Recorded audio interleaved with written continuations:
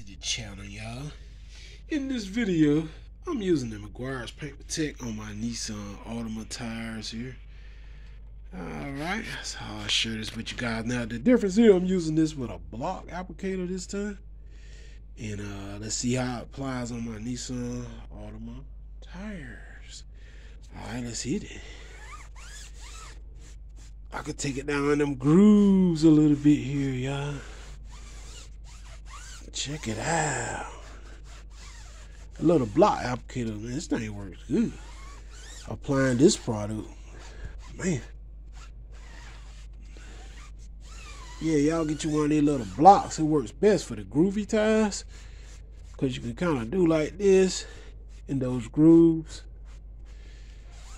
You know, look at how good. Kind of like a, give it a silky like look. It dried down nicely, but it still had that gloss to it though. Check that out. Yes, sir. That block applicator works amazing, amazing with this product, man. Check that tire out. Yes, sir. That's what I'm talking about. Yes, sir. Works amazing.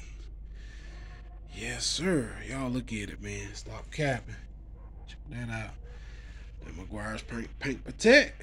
Still works good with a block applicator. Alright, what I'm putting on my Nissan Altima tires, man. I told you guys I keep them clean now.